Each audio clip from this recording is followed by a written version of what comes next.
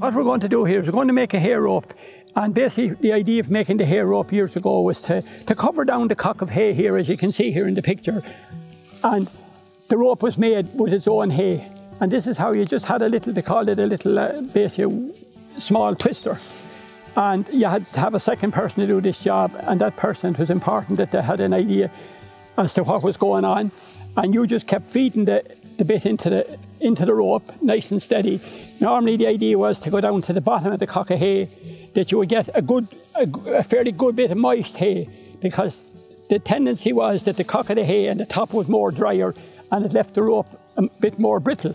And as you can see here now, just as we're making it, and, and, the other person keeps stepping back a little bit, and as the rope gets longer, you need to step back that little bit. And just it's a, it's a, a steady little pace that you work on all the time.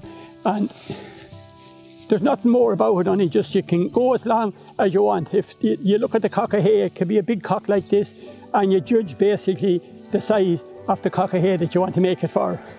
And then just basically when it's finished, you just stop and you get the fork and you put it up in the cock of hay and you uh, unhook and that's basically all that's in it. When they brought the sheep to the fairs, they had a tendency to tie three or four sheep together that the sheep couldn't go. So if you had four or five sheep tied together, they were in a little pin and the man or the woman went off and got the breakfast and left the sheep there with a little halter made for them out of, the, out of those hair ropes.